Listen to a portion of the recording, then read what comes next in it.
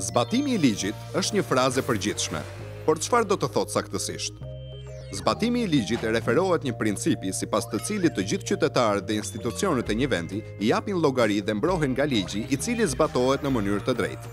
Në një vend ku respektohet si duhet zbatimi i ligjit, drejtësia jo vetëm që jepet, por edhe shihet se si jepet. Një transparencë e tillë u lejon qytetarëve që të fitojnë besim në sisteme dhe procese të ndryshme.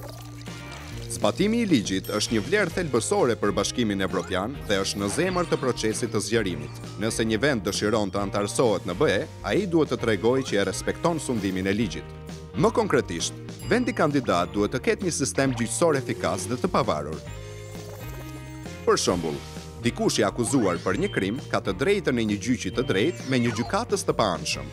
Ligjet duhet të jenë të qartë, të saktë dhe të drejtë. Është thelbësore që liritë dhe të drejtat themelore të qytetarëve të mbrohen. Vendi kandidat duhet gjithashtu të parandalojë dhe të luftojë korrupsionin.